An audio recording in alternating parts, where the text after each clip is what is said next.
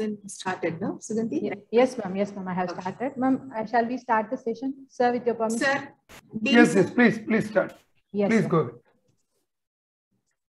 A very pleasant good morning to everyone. Educate and raise the masses, and thus alone a nation is possible. Quoted by Swami Vivekananda on education. On behalf of College of Management, SRM Institute of Science and Technology, Kattankulathur campus, I, Dr. Sugandhi, Assistant Professor, feels elated in welcoming our chief guest, distinguished invitees, dignitaries, faculty members, and participants. We are grateful to our chief guest for accepting the invitation and sparing his valuable time to grace the inaugural ceremony of AICTE Training and Learning Academy Atal sponsored five-day faculty development program on technology disruptions in management from today, the 23rd August to 27th August 2021. Light is good from whatever lamp it shines. Let's start the program with lighting of virtual lamp.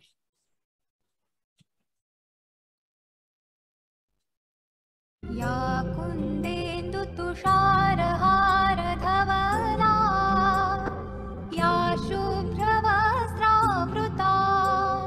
या वीणावरदण्डमण्डितकरा या श्वेतपद्मासना या ब्रह्माच्युतशङ्करप्रभृतिभिः देवैः सदा वन्दिता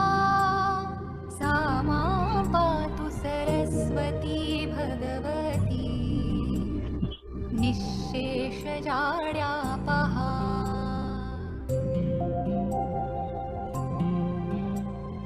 शुक्लां ब्रह्मविचारसारपरमा आद्यां जगद्व्यापिनीम्। पुस्तकधारिणीम् अभयदा जाड्यान्धकारापहा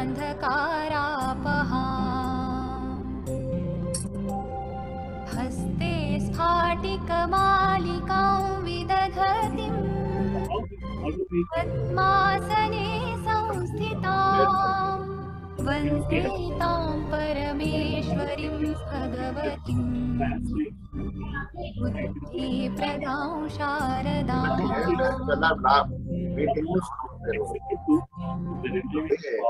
என்னோட லாகின்ல தான் நான் போனேன் qualitatively. Sir, sir, Mr. Vidya Shankar, please unmute yourself. Please unmute yourself. Uh. The concept is can say uh, 60% correct or 90% correct. Sir, Uma Shankar, sir, please mute yourself. Education is all about creating an environment of academic freedom where bright mind meets discover and learn. One would experience top of the world living and learning experience at SRM. Here comes a short AV about SRM IST.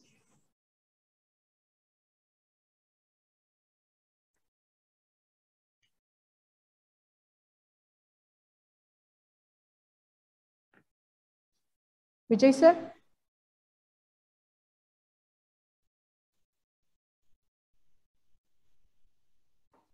Vijay sir, can you play?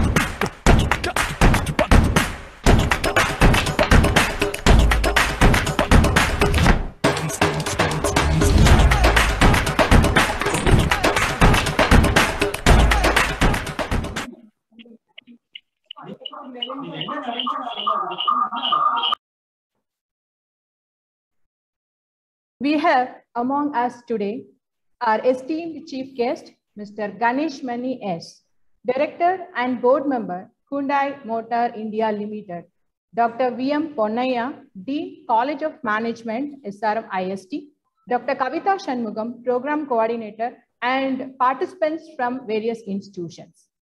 Leadership and learning are indispensable to each other. It's time to invite one such person who is a continuous learner, Dr. V.M. Ponniah, Dean, College of Management, SRM IST. He has been associated with SRM IST since 2004.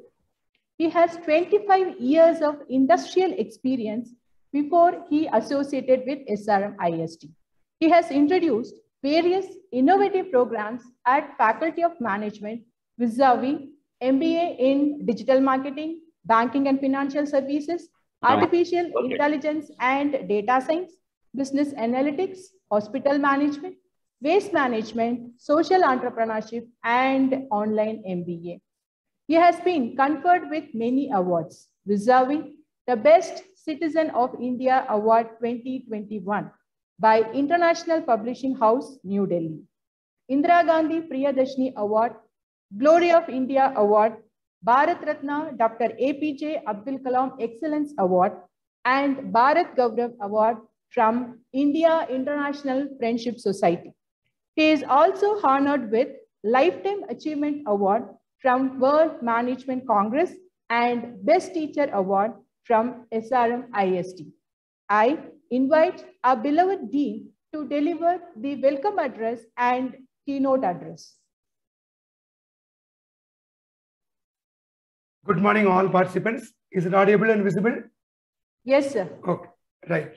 I take this opportunity to welcome each of the participants who have registered for this one week online FDP program supported and approved by AICTE Uh, Training and Learning Academy. All my senior colleagues who are working in various B schools and other professional codes who have registered under this important topic, technology disruptions in management is very, very vital. And all of you as teachers have experienced for the last one and a half years what is that technology disrupted, how we have learned, how we have learned for our career, for our job, for our society, for our family upkeeping. Always, necessity is the important thing. When the technology was expected to drive many of the thing in the corporate, especially in the education sector, it was indicated that it will take more years to accept all these technology driven. However, this pandemic made us to immediately evolve and accept and rise up to the new normal. I just want to take this opportunity to convey the good wishes and compliments from our Honorable Vice Chancellor of SRM Institute of Science and Technology, Professor Muthamizhchelvan, and our Registrar, SRM Institute of Science and Technology, Professor Ponnusamy, both of them were busy with other important commitments. I take this opportunity to welcome today's chief guest, Ganesh Mani, and various session in charges. All of them have been agreed and accepted our request by both of the coordinators of this program, Dr. Kavita Shanmugam and Dr. Sugandhi, and ably supported by all my colleagues in the College of Management. And all the session in charges have accepted our request to deliver in their area of domain for enabling learning. That is the very purpose of this Atal sponsored program. I'll take few things from my understanding of technology. Colleagues, when we are all talking about management, which is practiced in many domains, if we take the marketing, how we receive our materials. We learned two days back that world's retailer, largest retailer, Walmart, is overtaken by Amazon in the retailing. What is the necessity of marketing in this backdrop? This is one important message to each one of us. If we take the HR, in the HR, how the colleges are admitting students, how they apply online, how the e-counseling is being done, how the processing is being done for those final year students, placement, training, absorbing. Everybody knows what is HR technology enables in the HR. If you take the operations, I am sure Mr. Ganesh Mani is going to talk from the manufacturing sector point of view. All our operations, whether we are commuting, whether we are reaching out, how artificial intelligence can help to remove repetitive work. The human being can be utilized for create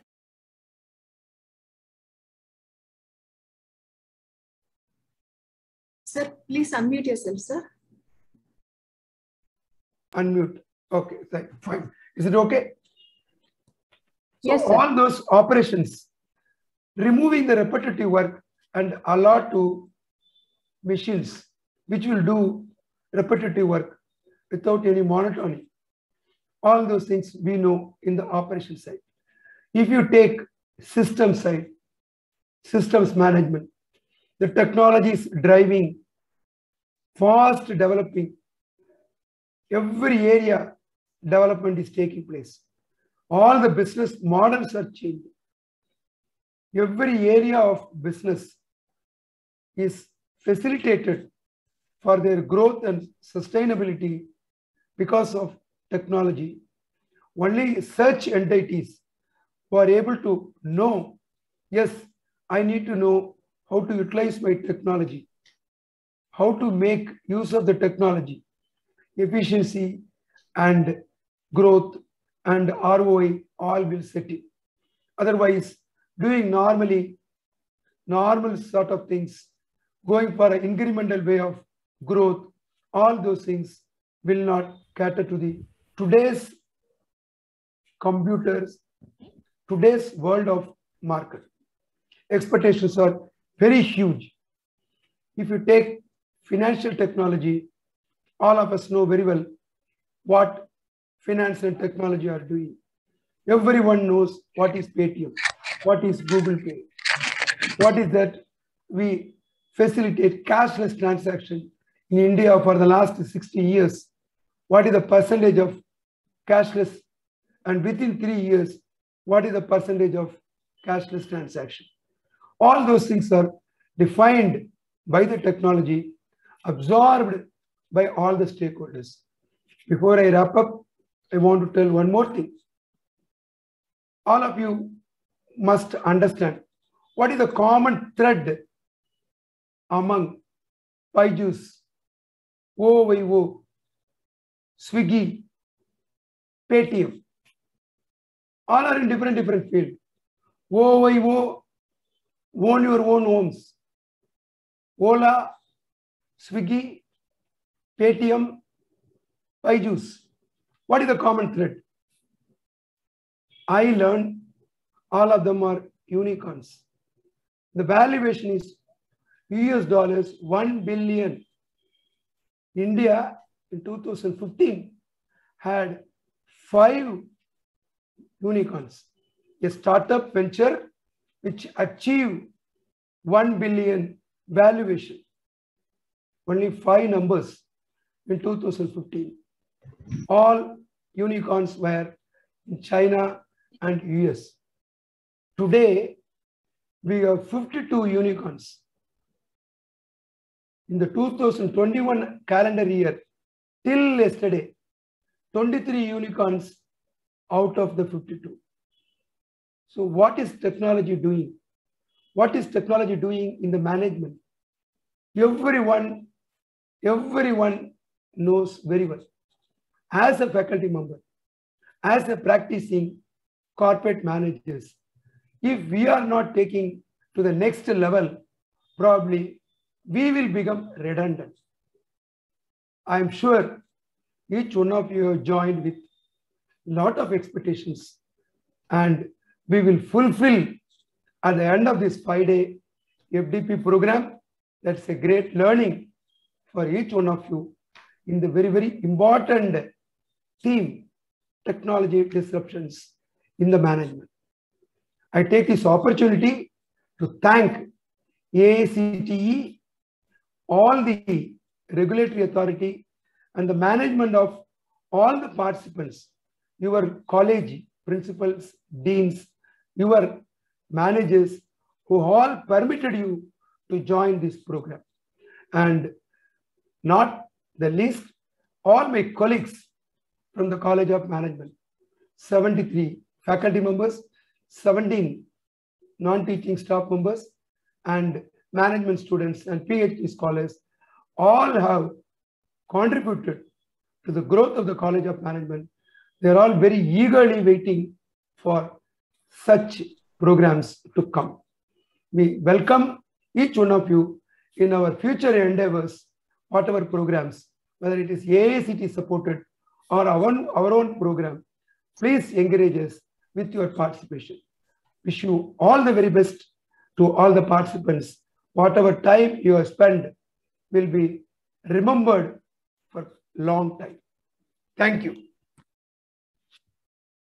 Thank you, sir, for your wonderful speech, motivation, and support. I now invite Dr. Kavita Shanmugam, Program Coordinator, to brief about the FDP.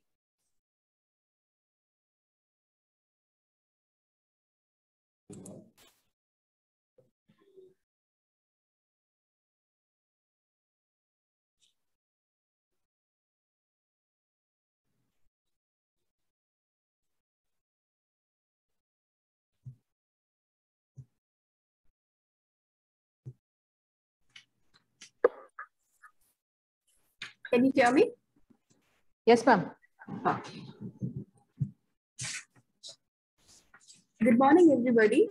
Uh, respected Dean and all the dignitaries who have joined with us today, and my dear colleagues, and also beloved participants. Uh, first of all, thank you all for having us in this uh, FDP and for registering yourself. So thank you, uh, first of all, for that. Uh, so today I just want to take a few minutes uh, to tell you how this FDP was designed and how it is going to be executed. Uh, first of all, I want to uh, tell about the participants about disruptive technology. What does it mean exactly? So disruptive technology is any innovation that significantly changes or it drastically changes the way uh, consumers or industries or uh, businesses operate. So something that drastically changes something that was already done. And uh, we have a lot of examples. I have only given a few here. Uh, the blockchain technology, and uh, we have complete disruptive technologies in the automobile sector. We have Mr. Ganesh Mani, sir, with us today. he'll be delivering his speech on this line and uh, we have electric cars that have uh, you know come up now. And online education in our own field we have online education that has disrupted 3d technologies video streaming uh, ride sharing apps the list goes on. So uh, this is the theme of this fdp that uh, we are going to experience for the next uh, five days. And technology transformation happens across functional domains uh, whatever the functional manager has been doing, uh, you know, that has been altered due to the uh, digital technologies. Uh, we have, for example... Kavita ma'am, sorry, sorry to disturb you, ma'am. Ma'am, your presentation screen is not visible, ma'am. Only the downloads is visible to us. I have actually shared. One second.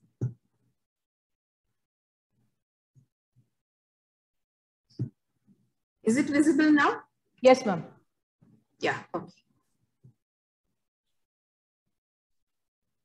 So disruptive uh, technology is what I was telling you about. And uh, then technology transformation across functional domains. Uh, first, when we take up uh, finance, in finance, you know, there's uh, a kind of a very between technology and finance. Uh, participants, please uh, mute yourself. Uh, starting from banking technologies and technology in financial markets, in investment and ma- wealth management uh, domain, and uh, you can take uh, digital or uh, cryptocurrencies and different modern sources of fundraising like P2P lending, crowdsourcing, robo advisory services. So the list goes on. And uh, in uh, HR, similarly, the uh, functions of the HR manager has totally changed now. Uh, HR managers, uh, they have started using technology for you know, talent acquisition or uh, say compensation management, performance management, data storage. So how people can be better managed with the technology is what, you know, HR managers are, uh, you know, doing now. And uh, coming to uh, marketing technologies, we have digital marketing tools like automation platforms, adver- advertising platforms, social media tool, tools, sales enablement uh, tools, and so on. So, uh, and also in operations and manufacturing, today we are talking about, uh, we are experiencing industry 4.0. And the fourth industrial revolution is the ongoing automation of the traditional, it's, uh, it has changed the traditional manufacturing and industrial practices by using smart modern technologies. Um, so uh, there are a lot of technologies that drive uh, these uh, innovations. We have artificial intelligence, machine learning, 3D technologies, IoT, blockchain, and so on. So, uh, so, so this is what you'll be experiencing for the uh, total five days package. And also the techno startups are, as our Dean sir was telling you, the techno startups are experiencing exponential growth in the past few years, especially in the past decade.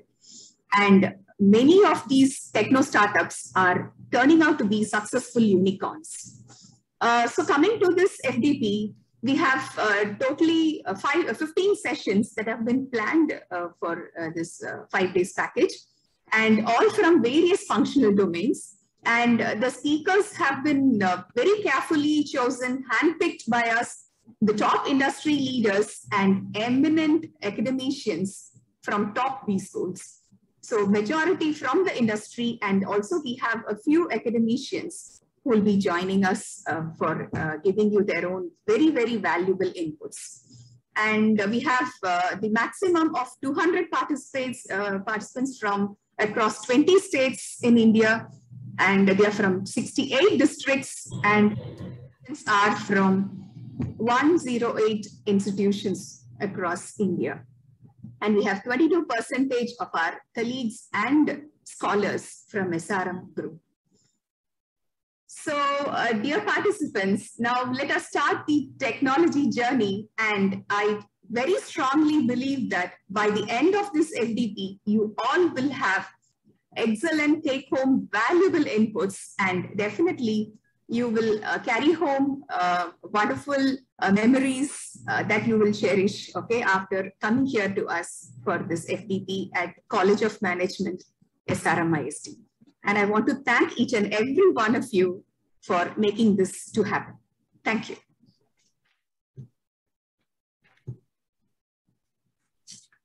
Thank you, ma'am. I'm profusely elated to take an opportunity to introduce the chief guest of the day, Mr. Ganesh Mani S., Director and Board Member, Hyundai Motor India Limited. Mr. Mani is a mechanical engineer by qualification and also holds an MBA degree with double gold medal in operations management from Management Development Institute, Gurgaon. He has a rich and wide experience of 30 plus years across multiple functions in the automobile industry. He worked as vice president in Maruti Suzuki India Limited and had spent over 25 years across various functions. As director and board member at Hyundai Motor India Limited HMIL, he guides HMIL's strategy and operations and leads the organization's initiatives towards a successful and meaningful future. Also, he oversees the entire passenger car and powertrain manufacturing from new model projects, logistics for domestic and export markets. He leads a vibrant team of 14,000 plus members, motivating them to achieve operational excellence and deliver superior quality, ensuring HMIL's top ranking among the 33 plants of Hyundai Motor Company across the world. A firm believer of using technology for sustained excellence, he spearheads the application of big data analytics, virtual reality, and artificial intelligence in manufacturing at Hyundai Motor India. Championed by My Place, My Pride, innovative voluntary program at HMIL received global recognition, change and innovation leader award from Hyundai Motor Group's chairman, led the core team to HMIL to win the prestigious Indian Manufacturer of the Year award by Frost and Sullivan for three years and the Smart Factory Award in the maiden attempt. Under his leadership, various sustainability practices across Industry 4.0 initiatives put in place in Hyundai Motor India, which led to the IEI Industry Excellence Award 2019. Institute of Engineers, India, felicitated Mr. Ganesh Mani with Eminent Engineer Award in 2019 for his illustrious career and contribution to automotive industry. Chitkara University, Punjab presented Mr. Mani with Doctor of Literature, DLIT, honoris causa in 2020 for his exemplary contribution to business, education, and humanity. He was also conferred with Entrepreneur Award by Decision Sciences Institute, DSI, Houston. His inquisitive and inquisitive quest and passion in the field of automotive field and rich experience has resulted in seven copyrights, patents, and publication of papers in reputed journals like Global Business Review. I now hand over the floor Mr. Ganesh Mani, Director, Manufacturing, Hyundai, for his session on technology disruptions in auto industry and manufacturing. Then, now, what next? Over to you, sir. Thank you. Okay, thank you. Uh, can you can you hear me? Welcome. Thank- Welcome, sir, uh, Ganesh Mani, sir. Thank you so much for joining us today. Thank you, sir. Thank so you we are eager to listen to you. Thank you. Thank you, doctor. Thank you, doctor. Thank you, Dr. Kavita. There are so many doctors, so I'm already in a jittery now. So whole lot of doctors, Dr. Mr. Punnaya, Dr. Kavita, of course, uh, Dr. Sugandhi. It was a very long, you know, introduction about myself. I think I should tell my team to reduce this speech of introduction slides anyway. Uh, thanks for patient listening about all those laurels. Thank you so much. You have been very, um, uh, you know, generous in that. Okay, good morning, uh, ladies and gentlemen. I was told uh, I need to speak for around 45 to 50 minutes, which is very long time ago I've done that. So I hope I do my justice uh, to that. Um, you know, when Dr. Kavita asked me to talk, I think over LinkedIn, that's how she got connected. Um, you know, the moment I said it's a faculty development program, it came in multiple respects. I could not refuse to that primarily because of multiple reasons. Number one is that, uh, you know, I'm all, you know, lifetime reader, learner. So I always need to respect the people who are, you know, spearheading the entire initiative. The community, which one community which makes the, the world progress, more specifically India progress is primarily this fraternity I always respect. You know, that's what the uh, that's the minimum most thing I think one should do for making it possible. Thanks for inviting me here. Uh, you know, today's uh, topic itself looks to be very good. This uh, program of faculty you know, development uh, uh, program.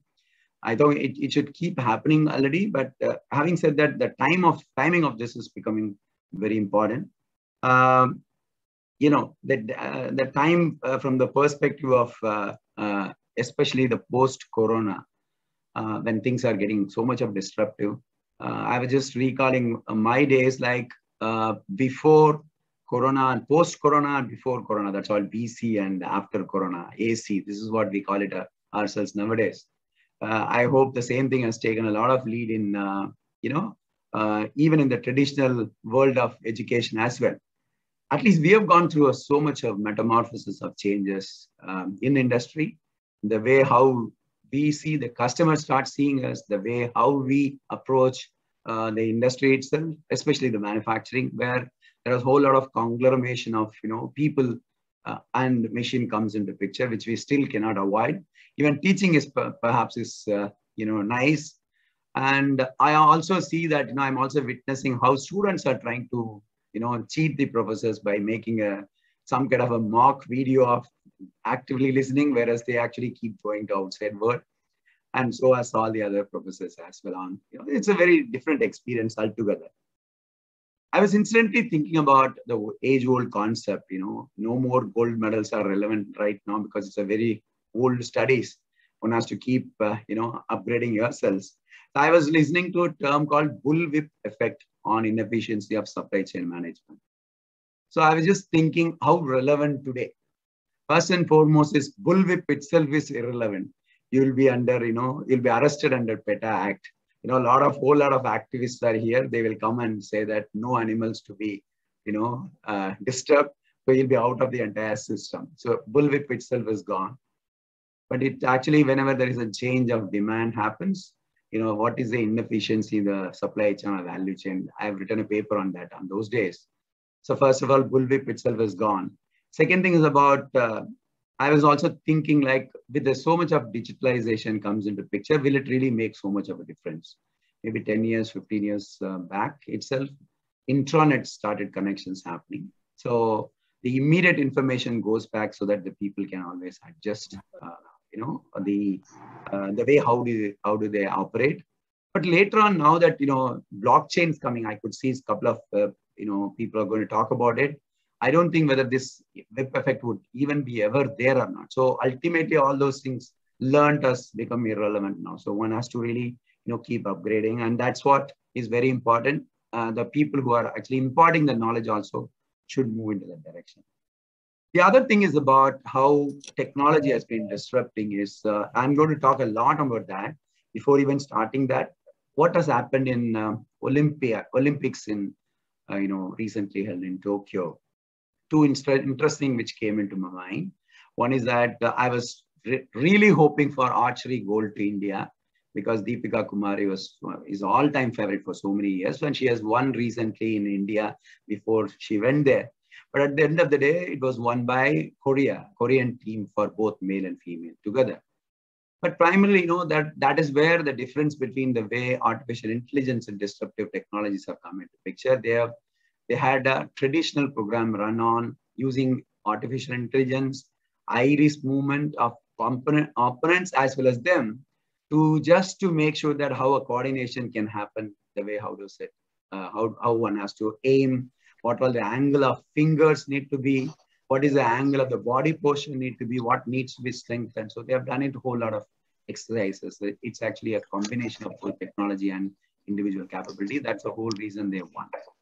And who will, who will forget about Nike's superhuman Maxfly effect of the shoes, which created an uproar in the entire industry. So they said, if you wear this, you have to concentrate only on shoe rather than anything else. So it automatically augments the way how sprinters run. So technology cannot be avoided in any of the places wherever we are going. And so as I was just thinking, the coaches of them also need to have that knowledge in a much more better way.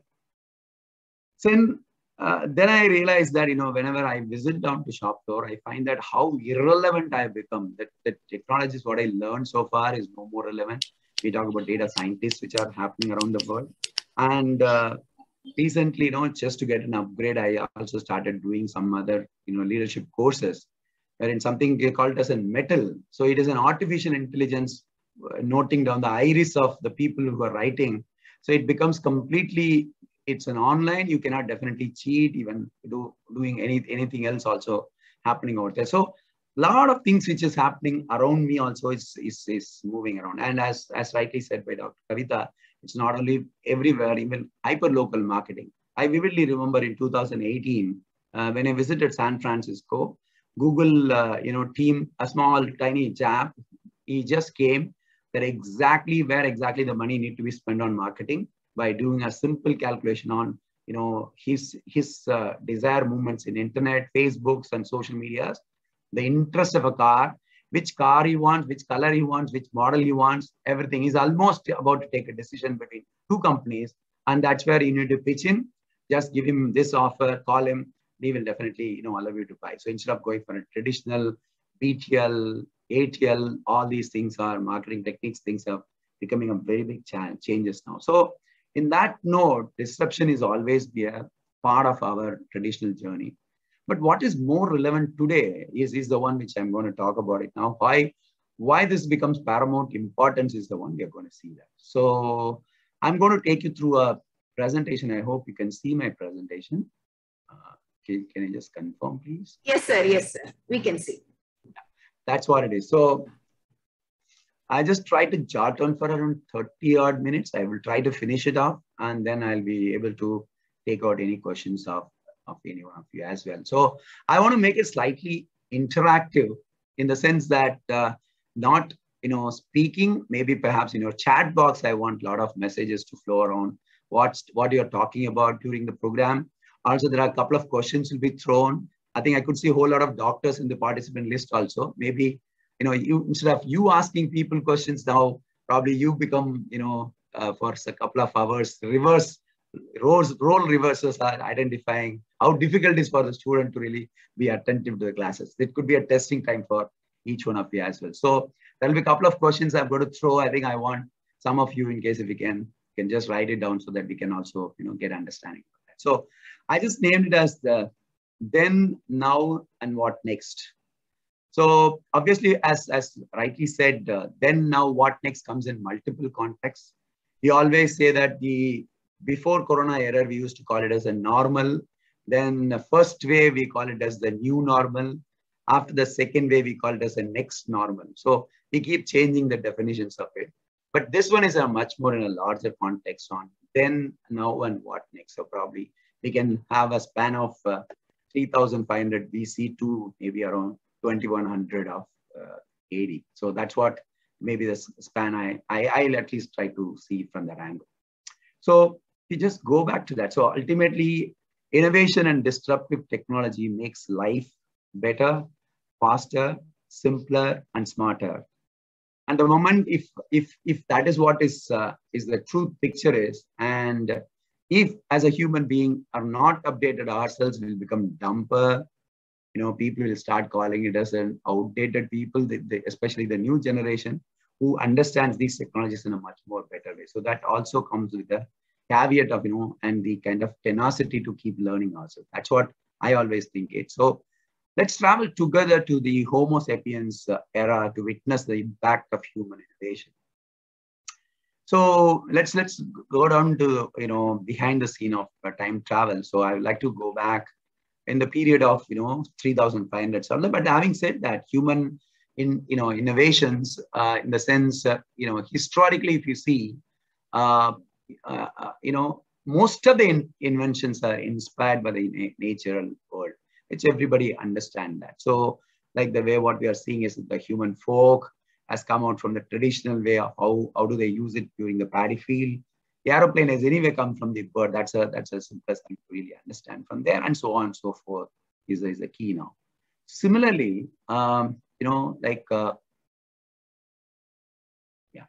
So one ingenious uh, invention alone, you know, took a whole lot of uh, just yeah, took so long until uh, 3,500 BC.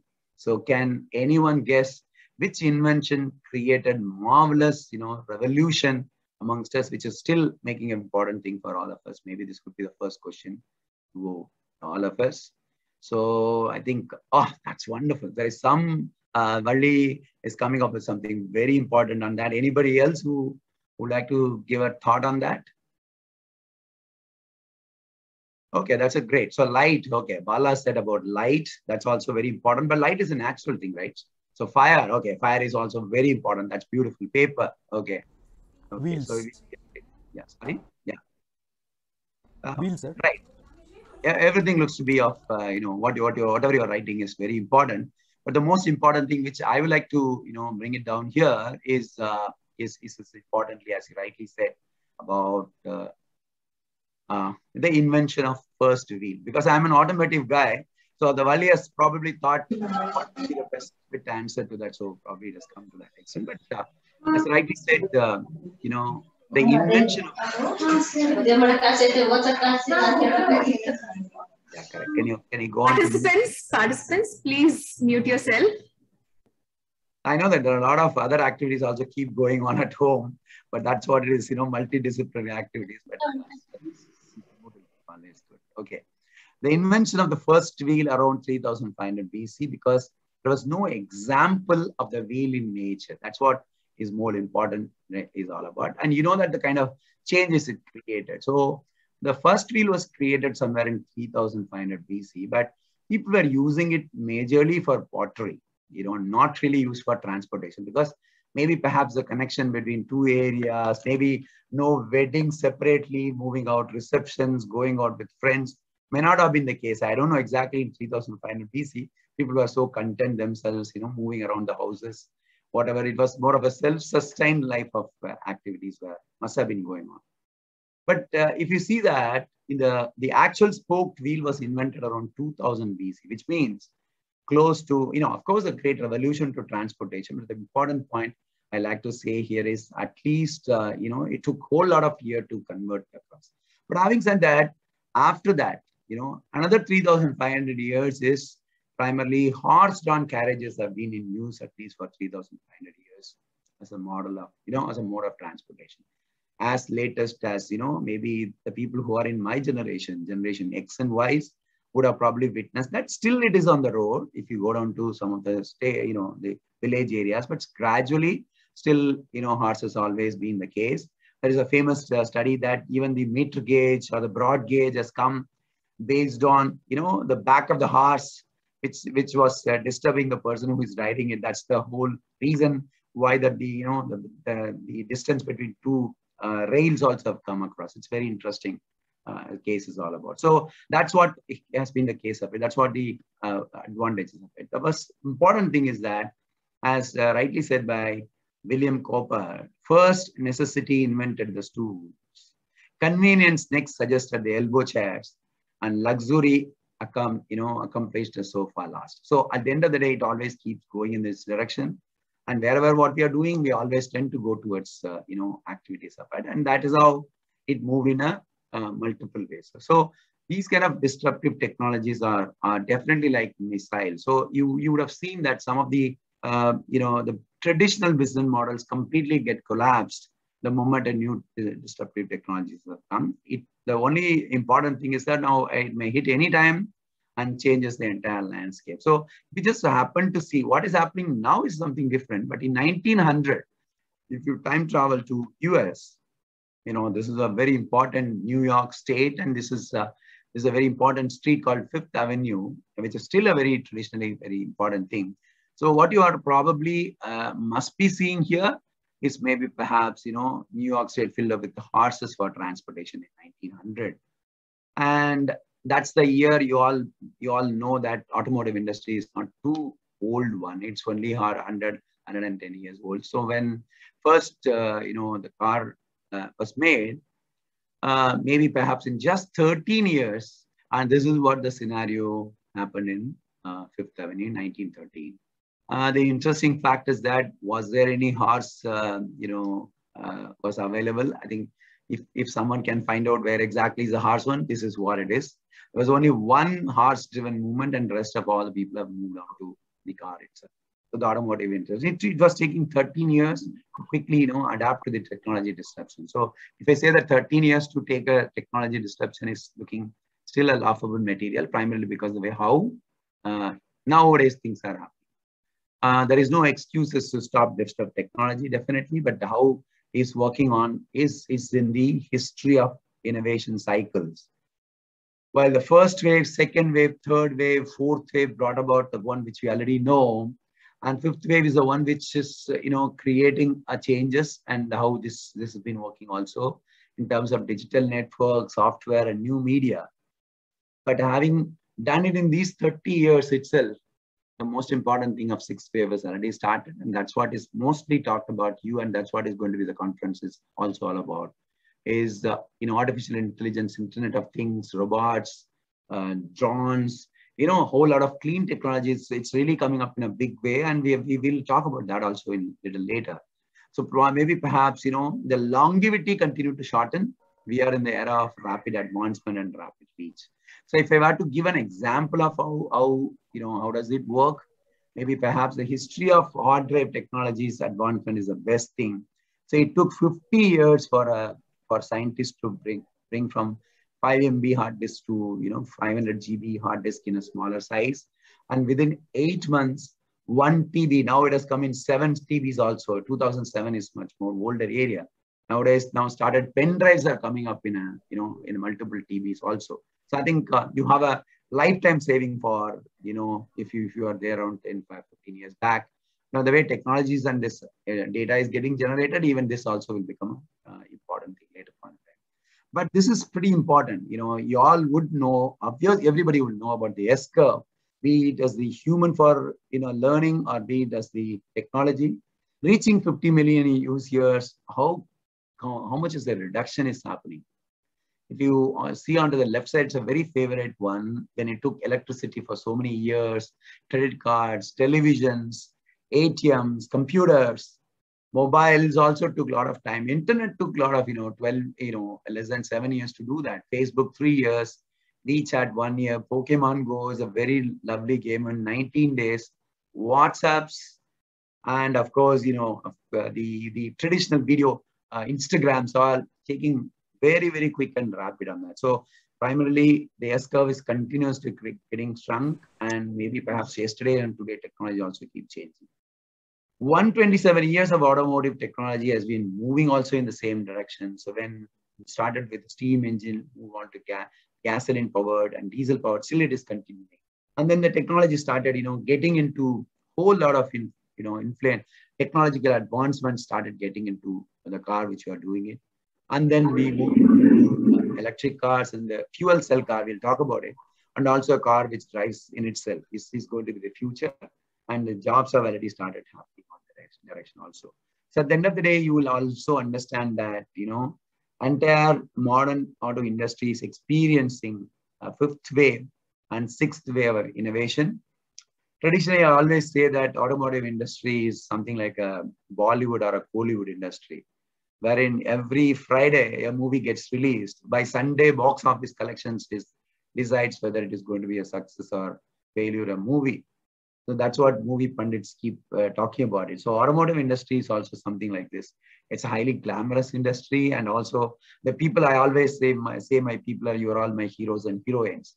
And uh, in that way, every year in India alone, and an average 200, you know, close to 100 plus new models come at least in every week, two models gets launched on an average, and it all determined by the none other than the customers themselves. We tend to understand and start doing it. So how well we are doing this is a very important thing. And traditionally, for the la last to 2020, uh, we could introduce. We were we were able to launch six models. All six models were a grand success. That also shows how usage of technology, usage of people, connecting to the people has really been working a lot. So that's come with certain important thing like chance always favors the bold. And, uh, you know, our own reference to show that this momentous impact on rapid technology. So if you take about the auto industry, then and now, the, those are all the days where some of you still would have witnessed this and uh, carburetor, water removal, hectic job, car vehicle gets stuck up, pushing, somebody comes and, you know, uh, you know, doing this mechanic guys. But from there, we are, we the first one to introduce a tall boy design in you know 1998.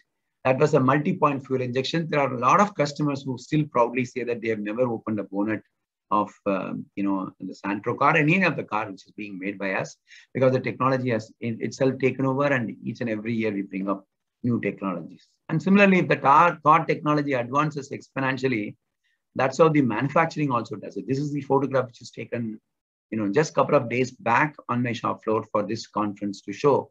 And you can just see that how technological things have gone. Um, robots are the one which really, you know, understands whatever we need to say. It, is able to uh, constantly deliver on whatever it is. And our own people, I'm proud to say that they themselves can design and, you know, start making and also programming these kind of robots as well. So it used to take around four minutes to make a car for us in 1998. Now, for every 31 seconds, we are able to roll out. That's what the you know disruptive technology has resulted into. So, what's the secret behind between these two other things? The incidentally, the photograph what you're seeing on the backside is the Ioniq 5 is a new model which is introduced in US as well as all the other European market as well. Definitely, we'll also bring when the market is ready. This is an electric car which can run for 600 kilometers at one go with 20 minutes of charging. You know, when you stop for a tea at a in between distance from say a two, two, two distance from Delhi to Kanpur, I think you'll be able to travel within 21 minutes. It gets uh, you know charged. The good point is that if you buy this car, we always say that you don't have to buy a car. If you don't, you don't have to buy a house because the charging of electricity can actually charge back your house needs of uh, fridge, washing machine, dishwasher, and everything else also. It actually you can draw power from this car and start using it also. So that's what the power of it. The material which is being used is a highly sustainable one. Like for example, sugarcane extracts are being used for seat fabrics. Similarly, and a lot of uh, flowers, uh, you know, extracts are used for making as interior color of the car and a whole lot of you know advantages. It's a third stage of autonomous car. So, okay, coming back to the topic of four minutes to 31 seconds, uh, is that it's an unlocking of digital seven sense of uh, manufacturing, and we, I can keep on extending my talk on that. But my I would like to you know talk in a, with a couple of examples. How does it really happen? So, smart manufacturing ecosystem. It comes from uh, rapid vehicle technology advancement, as you could see that you know, be it as the petrol, diesel, or any other fuel, fossil fuel, then move on to electricity. Then again, a next technology of hydrogen technology, which comes in the picture. So that's one thing. And similarly, rapidly increasing manufacturing technology advancement as well. So when you see this overall, you know, though the looks very complicating, this is what traditionally, you know, prof- I mean, the teaching fraternity understand these terms, these, these kind of slides. It's very difficult for students like us to really understand. Um, just to make it in uh, such a way that you know it whether it is a learning development whether it is a maintenance or a machine how end-to-end integrated manufacturing solutions enables fast scaling and advancement is, is the key. That's what we have been working on. So one such example is that how two robots you know communicating with each other. The one which you are seeing is it, it waits for the other one to come and then there is a handshake happens on the on the air and then it keeps moving across from here to there. So earlier we used to find it to be very difficult, you know, have a handshake between the two robots. So these kind of things are day in and out, 24 by 6, um, you know, work for more than 300 days in a year. Constantly they work together and without having to do anything on that. This I always say that traditional way of Indian dancing, wherein everything becomes very synchronized, synchronized kind of activities, it keeps happening. So similarly, if you see uh, uh, how we are interacting is that there are seven or eight uh, you know, touch points, like the way customer touch points there for a, for a, from a customer analysis. So all these six data checkpoints, we are able to develop, you know, the uh, dashboards ourselves and our people, our engineers, young engineers can continuously monitor the health of the robot. It's something like human robot, how this uh, keeps happening. So it's a very, you know, it, manufacturing or industry is no more a boring job. It's it's an exciting job where you find a whole lot of implementation initiatives keeps happening. So 21st century manufacturing is a world of difference in itself. And with increasing computing speed and things are changing in a very, very big manner. So which is coming into the picture. So you have 2,430 connected machines available, 1,040 intelligent sensors, and 105 plus self-learning machines, we call it as it, it, it, it corrects in itself to change it over what exactly happened. So we call it as an, you know, IIoT enabled industry, Internet of Things enabled smart shops are becoming. So smart shops, smart people. So close to 12 billion data point per year gets connected and these all can get monitored from a centralized way of working it out to make how things can work in a much more better. It's very exciting. So, and this cannot be managed without the people. Instead of only we call it as an engineers, we call it as a data scientists and technological experts. And they are the one who know he keep reminding me of that how you know outdated I am. I need to really keep improving myself, my skills as well. So it's not only restricted to you know manufacturing. It uh, it works as a digitalization of car sales and service. I think some of you would be knowing that, especially uh, Corona has helped the implementation in a much more rapid pace. you know, when you see from a, a perspective of uh,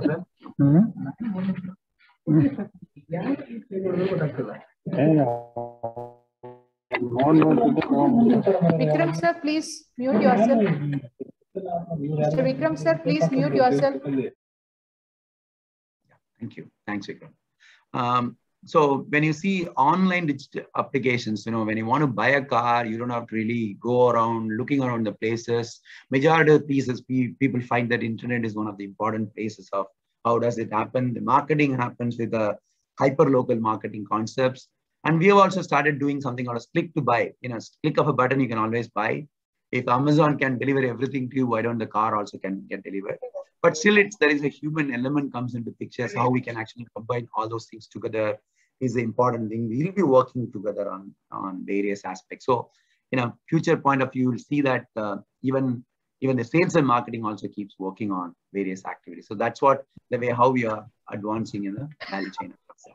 But this is very important, uh, you know, understanding what I understand is that how the whole lot of, you know, right, right from the way uh, simulation and testing, how the batteries and fuel exhaust systems need to work, how the engine system work, how automotive software has to work, supply chain, sales and marketing, manufacturing, all these things are governed by the one which is right now, which is completely changing the way how we are converting. So from a level of, uh, you know, artificial intelligence, IoTs, robotics, 3D printing, immersive technologies like uh, virtual reality, blockchain, which is still being explored here. I believe next 10, 15 years is going to really, next five years, I believe it's going to change. And as, as Lightly said about energy innovations and also autonomous vehicles. So in a single industry with a quantum computing keeps moving up, I think we feel we believe that it's going to disruptively change also in a big way. One such example is that, you know, on seeing this, I really felt very happy. The computing power started growing exponentially in the early 21st century.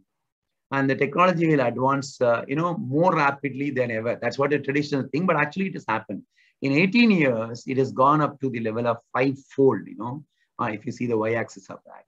And there comes the next sub, you know, surprise to me that the next 10 years, I've seen 2018 has converted into a mini school of it. Now it has gone up to the level of 200 plus and it is still growing. And that's where the entire disruptions are happening. That's how, you know, we are going to go towards all those engines together. So from the vantage point of, you know, people living and working in the future of 2028, it would appear that, you know, there was virtually no improvement whatever has happened today. So if we have a feeling like we have improved a lot, maybe another five years, 10 years down the line, our sons and daughters will definitely ask you, you guys are, I don't know, how did you guys live in this kind of a world and how it's possible? That's what we have been asking our parents. After 30 years, now they will ask in another five, 10 years. So how are you going to prepare ourselves and which we don't know, but it's definitely, we know that it's changing as fast and definitely we know that we are getting outdated. That's what important thing you know, based on the survey, obviously the soft skills continue to become on creativity, persuasions, collaboration, adaptivity, and emotional intelligence. Most important thing is on 10 hard skills is, I'm interestingly, I, I could find that majority of the, you know, topics of uh, this conference is, you know, is getting covered on all these area and uh, how things are going to take a turn in an advantage is, is, is going to be, you know, I'm happy that this is all being discussed at the, uh, at the, you know, faculty level and program like uh, in reputed institute like SRM. And I'm, I'm pretty happy that these things are working under here. So the future is definitely wow. If the present itself was wow for us five years before and five years now, but the future is going to be a double wow. So I'll just give an example of how, you know, I always take a metaphor of uh, automotive guy because that's how I've been thinking everything in, in, in terms of a car. So future of mobility is obviously a connected, a clean, and a freedom in mobility. That's what, you know, we have been working on. That's why we, our entire, you know, thought itself is converted from uh, just a traditional car manufacturer. We wanted to give a complete, you know, uh, mobility solution providers to the world. It's, it's a mobility solution providing in terms of the way we connect the car, how we interact, car to car connectivity. Cleaning, cleaning of a clean is very important. Now that uh, there is a big myth around the world that cars are only polluting, which is, which is definitely not. Having said that, we wanted to eradicate, nobody even puts fingers on us. On a winter morning, I don't want any of the newspapers talking about because of car, the entire smog comes. We know that the smog is coming from, you know, neighboring states. But having said that, um, we don't want to be a part of that at all. For which we are creating a car. I'll talk about it. And also freedom and mobility is that how long we will try to continue to drive. I mean, during driving is one of the most important time. You know, multi-billion possible opportunities of, you know, marketing is available. In the person is, you know, freed from driving of a car. So I think uh, that's all the three areas where things have been working across. Begin with, is a connected car. You know, the car can talk to you. You can talk to the car. You can ask it to do anything. You know, it, it the car is is going to really interact you in a much more uh, better way. And uh, just those connecting feature see. These are all the four models which we introduced. We started with 33 features in in Venue, which was a big success. Still, is going great guns. In 2019, in 20, within six months, we were able to augment into 45 more connected feature facilities. And uh, in 2020, Creta, it's a runaway success, 54, and which recently launched Alcazar of 60 plus. It has got so many, you know, important, uh, you know, features wherein people can always use it for their own will. And we are going to continue to work on much more bigger way. It'll be very interesting to know that fuel cells are not a traditionally a new one but using in which industry is important. So the fuel cell in Apollo 11 was the one which, which was utilized for generating power in moon. And this launched in moon, realized the dream of mankind. And that's how the same thing the time has come to, you know, start working on, you know, for other purposes also. Car industry is one of the important thing. The one which you are seeing right now is called as H2O.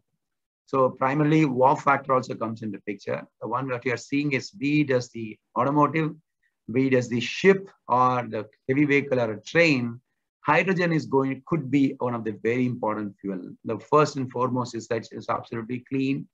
Unlike electric, uh, you need to spend, you know, energy to produce. This itself is abundantly available. And the most important thing is that the car, which is uh, which is done, I always, uh, you know, tell my people, the moment you buy a car, maybe in Delhi, in the traffic light, you can stop the car, you get down, go to your exhaust and go to exhaust system and put your glass and you will get a pure H2O. The, the output of this car is going to be only H2O and it's such a clean, uh, you know, car on these facilities. We are going to start, we have already started making it. These cars are will definitely be coming, you know, in a big way. Uh, there are companies like Reliance are starting talking about this fuel availability to us. So once it is all made available to the public, I think we'll be the first one to launch these cars also. Traditionally in India, very in the world, there are very few players who can actually make this activity also. The next one is as they talk about self-driving car. We have got multiple things to do. Can the car take over, you know, itself to do that? There are five different stages, the way how we are working right now. And then there is some amount of drive assistance system we call it as an ADAS, which is advanced driver assist systems. Multiple features are now coming up in a car. And then partial automation in the sense uh, you can keep your hands off, but not minds off. Then comes also, you know, kind of uh, the second one, you know, your eyes off. The eyes have to be off. The fourth one is about the hands off and you know eyes off, but the minds need to be off. That's called as fourth wave. Maybe the fifth level automation, autonomation, you know, that's called as autonomous would be perhaps is going to be all the three things off. You can actually turn back your car and start interacting with the people. The car will drive themselves. So even in India, it is possible. It will come. So maybe by 2030, and we have the technology and definitely come across here also. But having said that, you know, the cars are not meant to be um, driven only on the road. So it has to it has to have something called other facility also. You know that the sky is no limit. So the above, you know, the building height, there are a lot of space is available.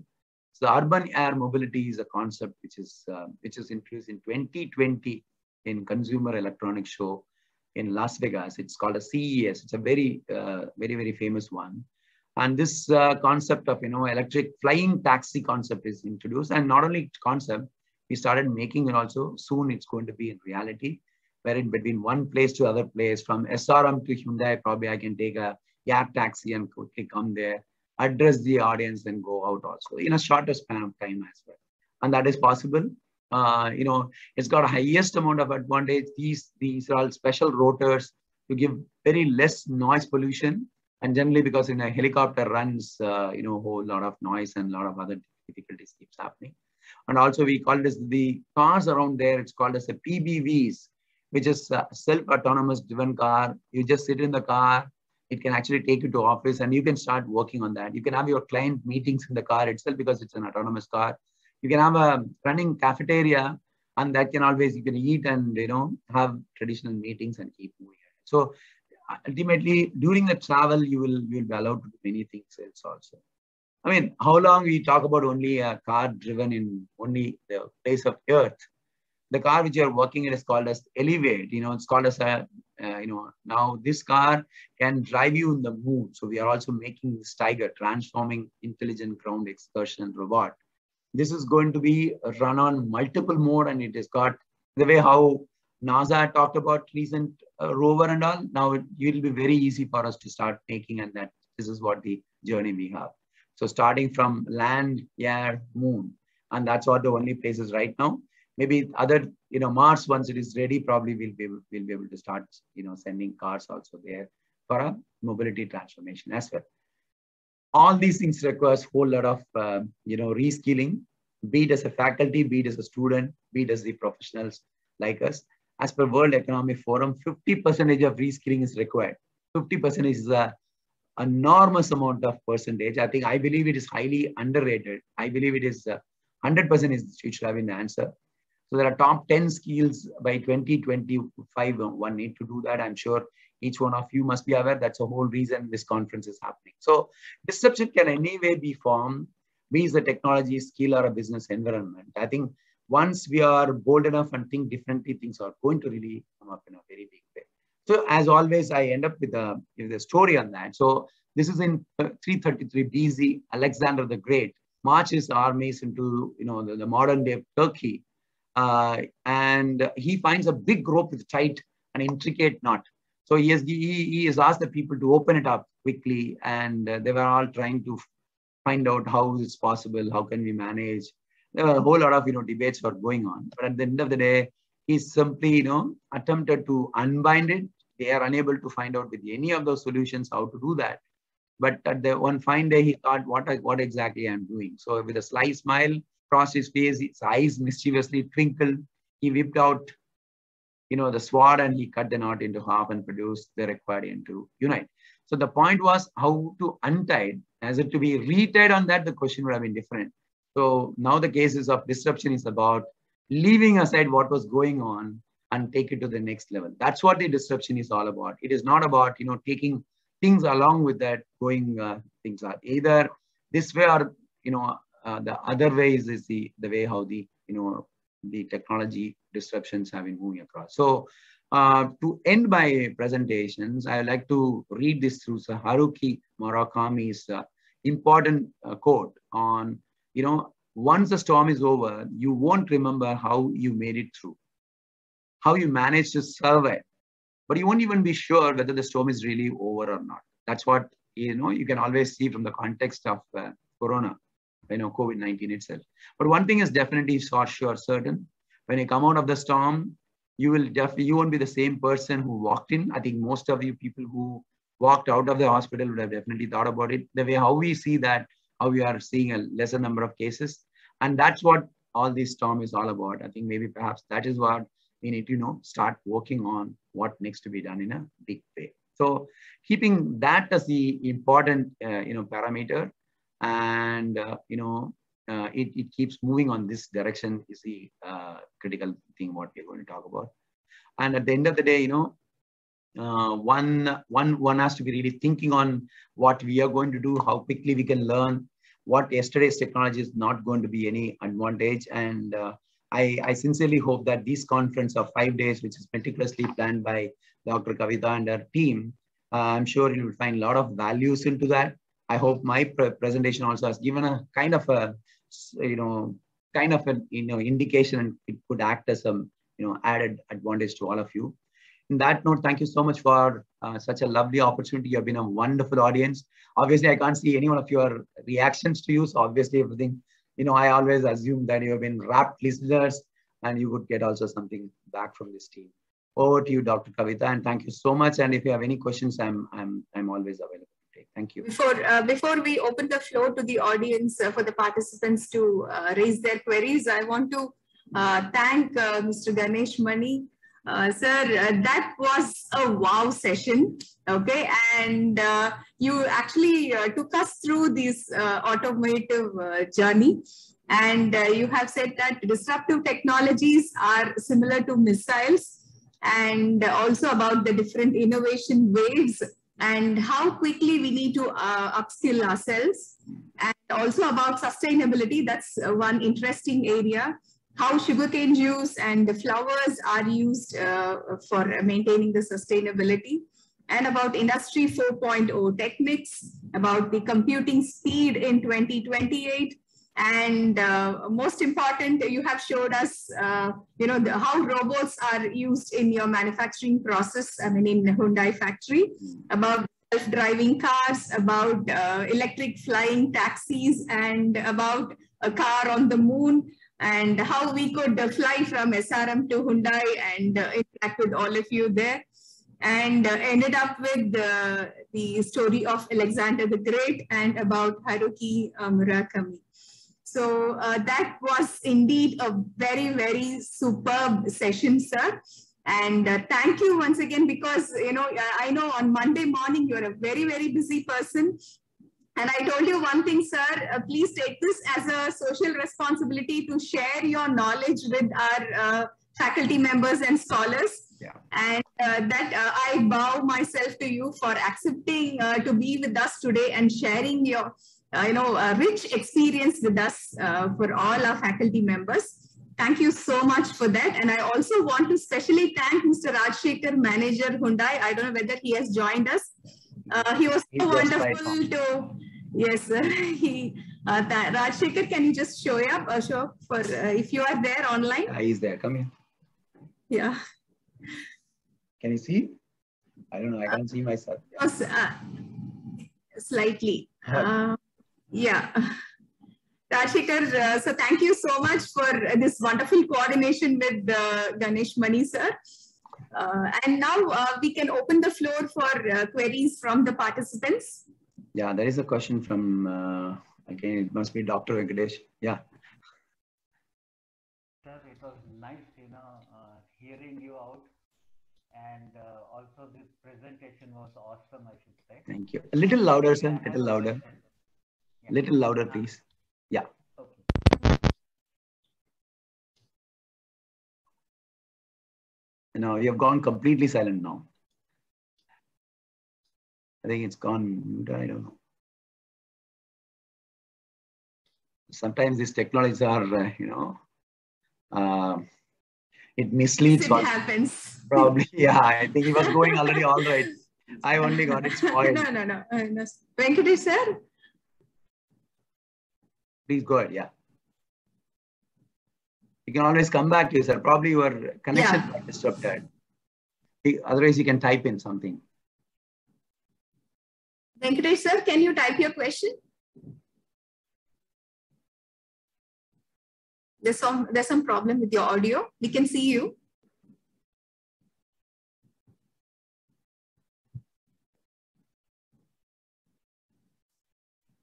So there's a question from uh, Mrs.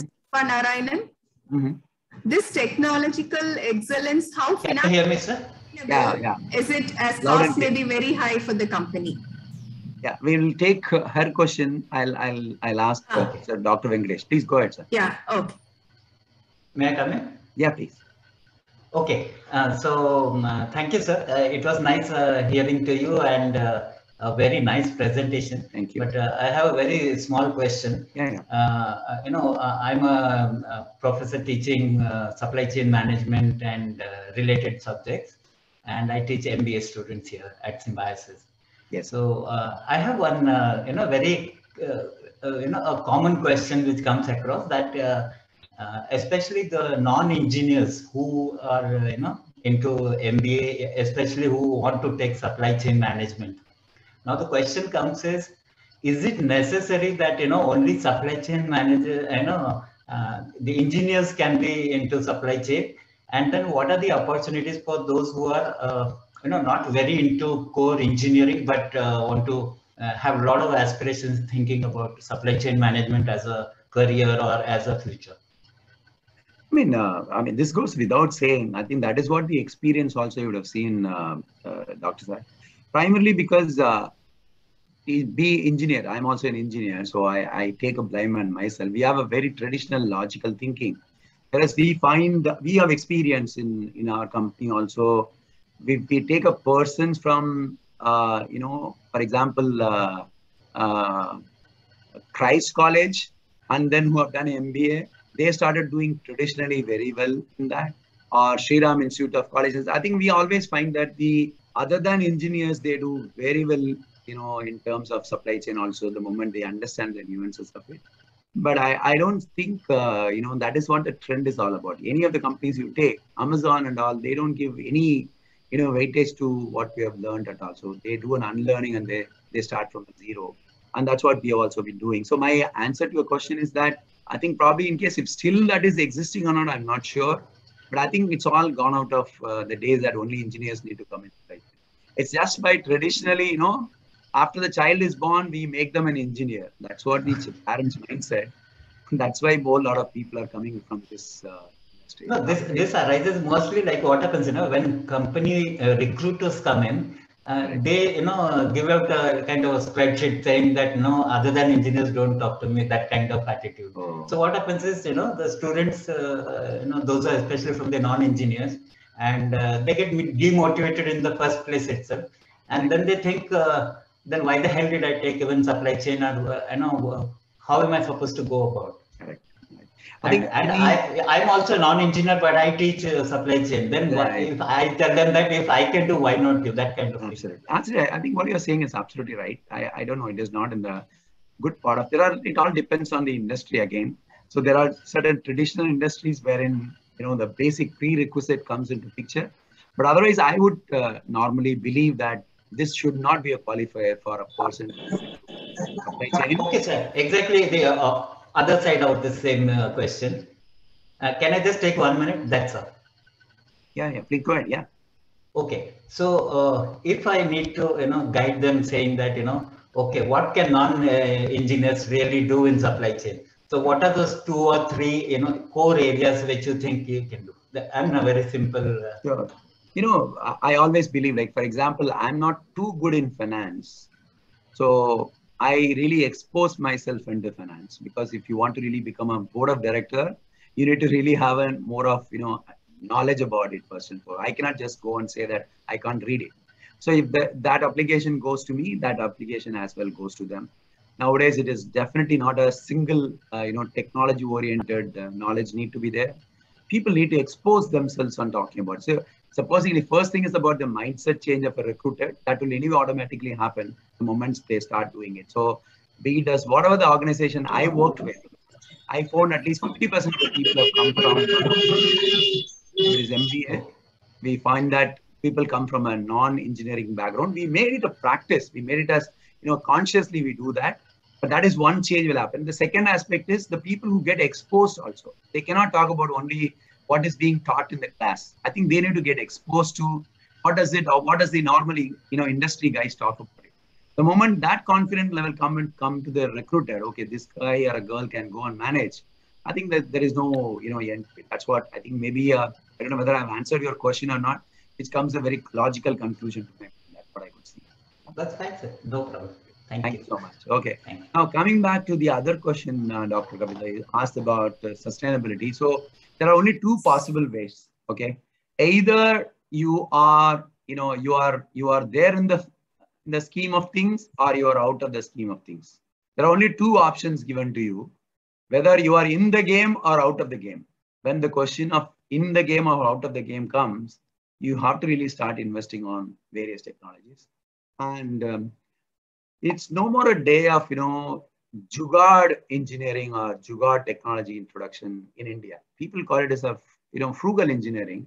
It's a very traditional uh, one, but at the same time, we got a fantastic mindset of how we are thinking differently. That's what our Indians is all about. So to answer the question of them, will the sustainability comes into picture on uh, you know uh, on new technologies? I'll just give an example. We were just recently talking internally the last 10 years, we have spent at least four, you know, a billion dollar in hydrogen technology with virtually zero outcome so far. Throughout the world, close to 7,000 cars are being sold. But we know this is what is going to be the future by 2050. So for a technology of 2050, if you don't right now do it, maybe at that time it will not be affordable to you. So the moment it becomes an affordable, then it becomes a very simplest way of possibility of technology, be it as an elect electrical, for example. It used to be a per unit of manufacturing, it used to cost it $200.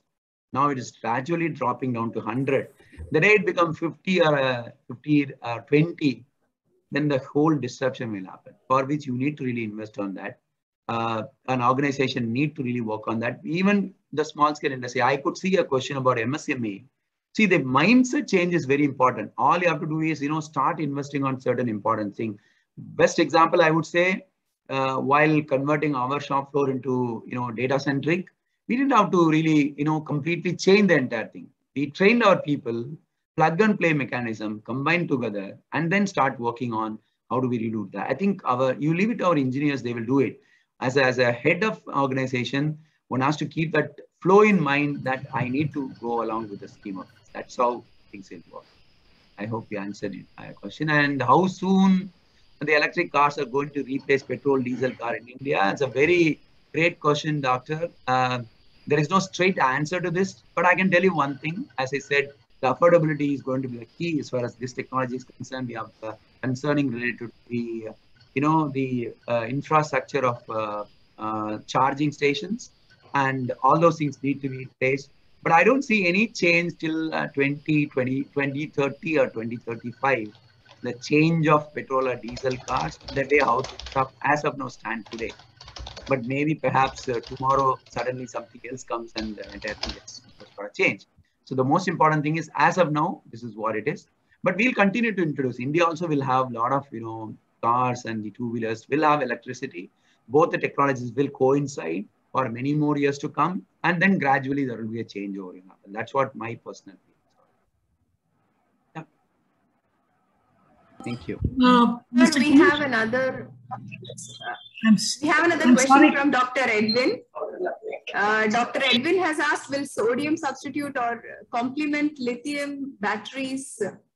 Uh, whether it will be complemented. Yeah, correct. I mean, uh, that's that's From right. Dr. See, Right now, right now, this is the technologies available. Whole lot of people are work, working with multiple technologies right now, but uh, you know things are rapidly changing. So it's a it's a ever evolving world now.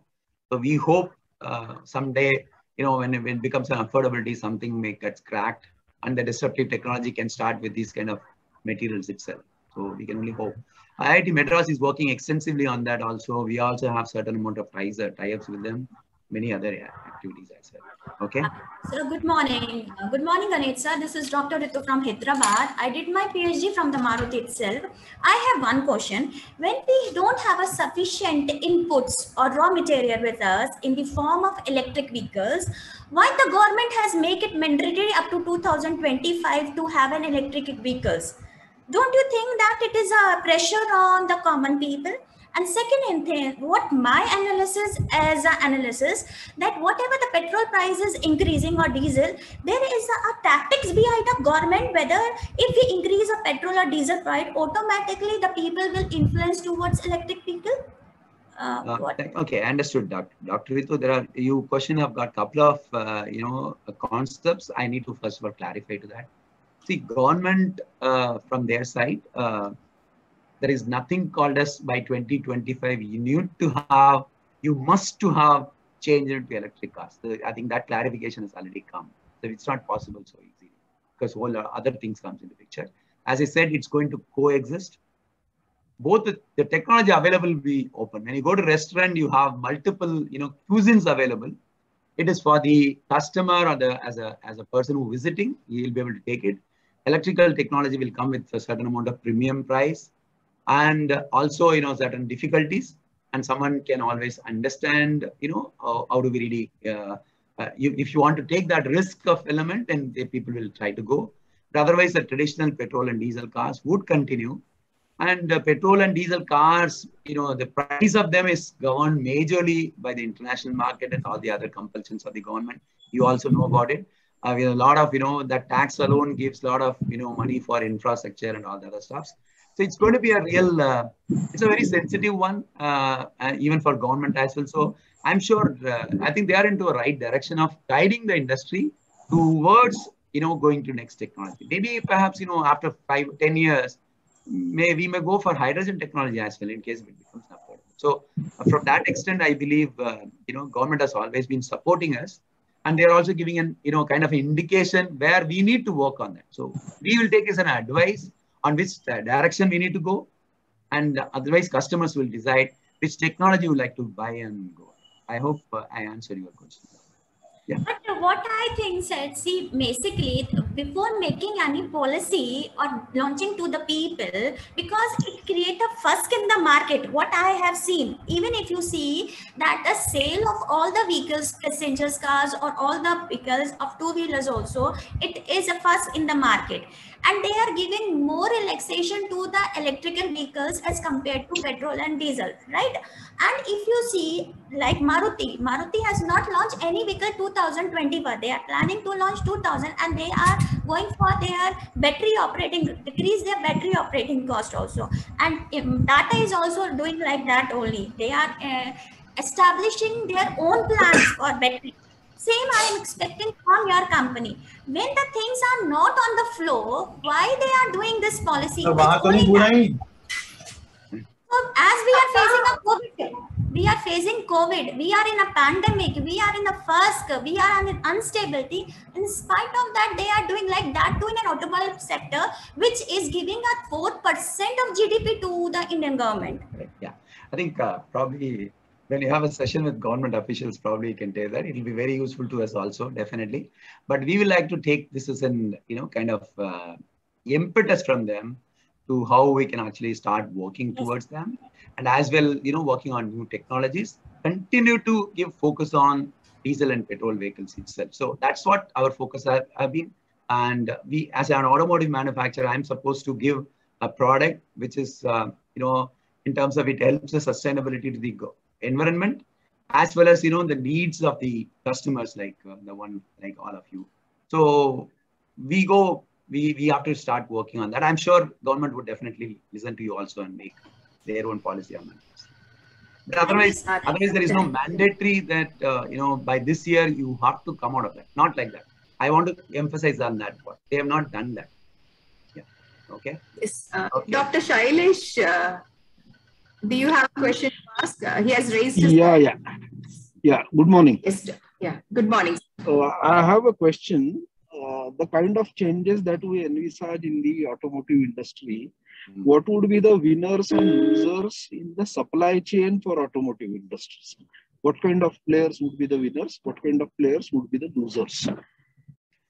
Um, probably my presentation itself was an answer to this question, uh, Dr. Sailesh, is that the person, I, as I said, you know, the persons who are flexible enough to understand and adapt to the changing environment will be the winners traditionally. Uh, That's for the human also, not only the, uh, you know, industry. And the people who my, my, that- my question is in terms of the OEMs. okay, um, I mean, Sir, see, my question is in terms of the OEMs and the other players, correct. So not the individual. that like, like so whether it is OEMs or individuals also it's the same. But OEMs also I would say perhaps you know if you have enough technology in the fore, forefront and if you are if you can think about you you you are bold enough to start spending money on research and development at any point of time you know minimum of three to five percentage every year constantly you have a big infrastructure which can always think about you know, doing that and also an organization which also have people who are willing to experiment and change themselves and those are all the OEMs will definitely survive and rest of the other people definitely will not survive. I, I, that's what I, I perhaps think about it. When I think about my company and that's what we are working on that, we proudly say that for, uh, for India, till 2050, we have a technology. After 2050 also we do have, but right now 2050 is a big horizon on which those things are there. If the other companies feel they are not into it, either they have to correct it, otherwise they may have to, they will get automatically. Yeah, thank you. One last question, please. I got another Sir, meeting. Sir, one last question. Sir, uh, Venkatesh sir, uh, I think You we can already give opportunity for others also. It's fine. It's Uh, fine. th- uh, uh, there's a question uh, here regarding, uh, is it true that EV causes pollution? Tesla was fined by Singapore authority. So there's a question from Mr. Sridhar. Uh, I don't know whether it is relevant for you here, sir. Uh, I don't think uh, I'll be able Yes, to sir. answer this question. Yes, sir. Yes. Okay. And uh, sir, Venkatesh, sir, you have only asked. Very small online- question. Yeah, very small question. Yeah. Okay. So Ganesh sir, I Yes. just wanted to ask that, uh, you know, there are a lot of this uh, recent trend about uh, online courses like uh, Coursera, EDX and many of them, the MOOCs. So these certifications, how do you treat this, uh, uh, you know, when, uh, when you look for recruitment? You know, um, what, what you're saying is true because traditionally we are just into post-corona era, right? So the, the corona batches are going to come out now. Okay, we, we call it as corona batches, right? Okay. Many of the B schools are almost in an online mode. So I think you guys are the best guys to really talk about the students who are from a you know one-to-one interactive people and the one who are actually into online. If your take on both are same, I think industry also will definitely take it that way. Currently, definitely there is no changes as such that you know only before Corona era only should come. A lot of traditional jokes are going around in this part of the world. You are from a Corona batch or something as if students have not studied at all. it's a very tough one. It is the technology is enough available. In fact, make it a highly accountable. Most of the meetings are highly effective because, for example, 9:30 the session starts on a normal traditional basis. People would have joined it by 9:45 or so, but 9:30 sharp it starts.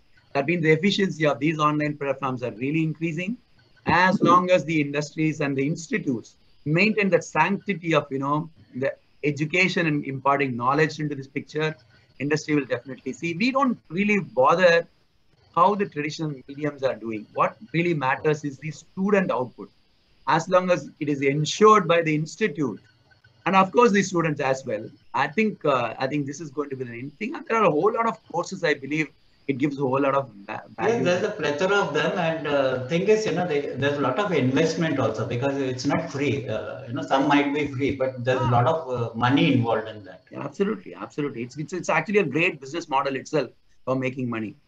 I think this is going to be the in thing, definitely. No, that's why I was worried about what about the acceptance for uh, recruitment. Would come as long as a boy or a girl is able to deliver to us. So it Right. doesn't matter. Facebook doesn't recruit a person on based on his degree. He, he doesn't even insist on education qualification. He just tests on that, you know, that activity. Thank, Indian industry also will evolve around like this. That's what- thank you, sir. Thanks a lot. Thank you so much, Dr. Kavita. I think uh, I- I- we can we just uh, Yeah, yes, sir. Uh, yes, sir. Sir, uh, please uh, stop sharing, sir, so that we can have, uh, uh, we can ask participants to uh, I would have done that earlier also. open their, uh, no, no, no, not an issue, sir. Okay. Uh, so participants, please uh, uh, open your video so that we can have a screenshot before we end the session.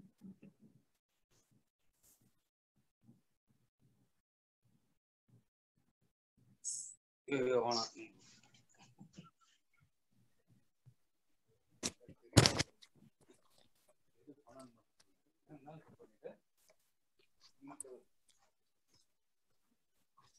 is a sign of mark of attendance, is it? I don't know exactly. Just as a, record, sir. Yeah, thank you.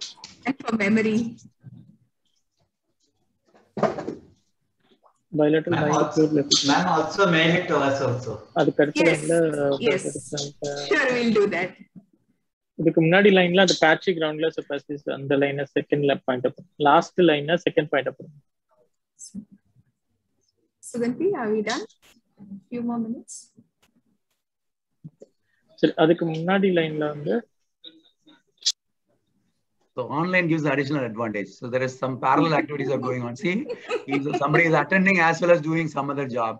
That's a there's an added, added advantage, right? Okay. Madam, okay, madam, video uh, or shall we? Uh, madam, shall we leave now? Is it? Thank Once you. again, Thank you so Sugandhi, much. are we done? Yes. Yeah. Thank you. All the best. Thank you. Thank you so much. Thank you so much, sir. Thank you for joining. Thank you, sir. All the best to all of you. Thank Thank, you, you. sir. Once again, thank you. Thank you all. Kavita, madam, can we Thank you, sir. Uh, yes, sir. See, uh, all of you can leave now and uh, you can attend the combined uh, uh, inaugural function. The link is already sent to your email IDs and you can join us back by 11.30 for session two. Okay, thank you. and the link has been posted. I will also send the link uh, through email. So please give your valuable feedback. Thank you, ma'am. Thank you, ma'am. for Participants, joining us. One request, participants, please rename yourself that you have given at the time of registration so that we can capture your attendance and help you to get your certificate at the end of this program. Thank you. I repeat, please rename yourself when you are joining with the Zoom, that the name you have registered with AICT because we are capturing the attendance automatically. I hope it is uh, understandable and thank you for your participation and your patience. Uh, thank you, uh, Dean sir. Thank you so much for your uh, support and motivation. And thank you all participants. Thank you all. The session starts at 11.30 with uh, uh, Dr. Uh, sorry, uh, digital transformation with new technologies, blockchain, AI, MI, and Already IoT by. Mr. Manish Shukla. The session will start 11.30 sharp. Thank you.